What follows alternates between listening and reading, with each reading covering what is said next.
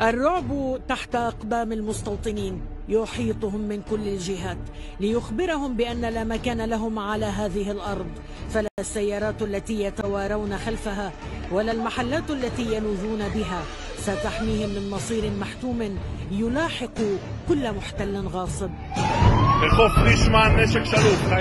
الحديث عن زوال إسرائيل عاد إلى الواجهة بقوة بعد العمليات الفدائية المتتالية التي أصابت قلب تل أبيب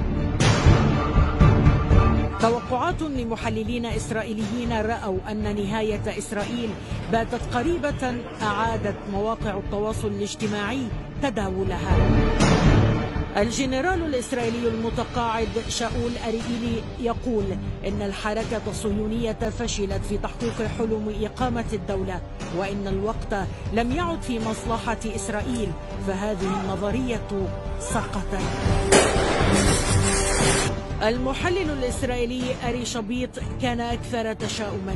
وتوقع أن الإسرائيليين اجتازوا نقطة لا عودة وأنهم يدركون منذ مجيئهم إلى فلسطين بأنهم ضحية كذبة اخترعتها الحركة الصهيونية خاتما بالقول حان وقت الرحيل إلى سان فرانسيسكو أو برلين.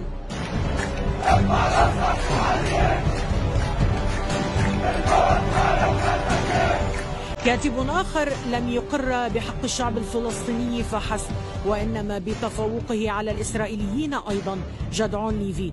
خلص إلى أن طينة الشعب الفلسطيني تختلف عن باقي البشر. مؤكدا أن إسرائيل تواجه أصعب شعب في التاريخ ولا حل أمامها إلا بإنهاء الاحتلال.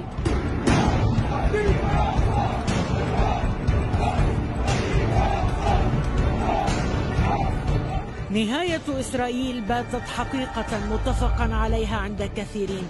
المستوطنون أنفسهم يهمسون في سرهم. الرحيل اقترب.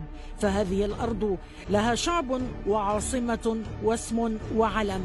هنا فلسطين. ولك هاي عاصمة فلسطين القدس إلنا. يلا.